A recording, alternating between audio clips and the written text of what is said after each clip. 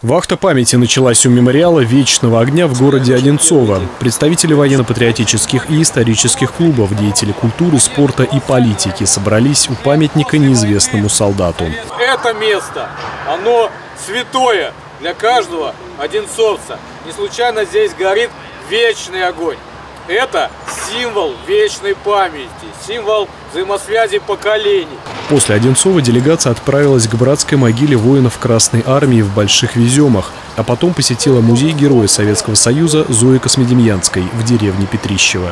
Вахта памяти – это целый комплекс мероприятий разной направленности, которые проводятся в течение года с целью помнить, с целью помнить подвиги наших предков. Разные клубы работают в этом направлении. Кто-то занимается военно-исторической реконструкцией, кто-то поисковой работой. Одной из главных задач ежегодной вахты памяти является патриотическое воспитание молодежи. Помимо экскурсий, круглый год с ребятами работают ветераны, участники боевых действий и профессиональные лекторы. Святослав Савенков, Станислав Трифонов, телекомпания «Одинцова».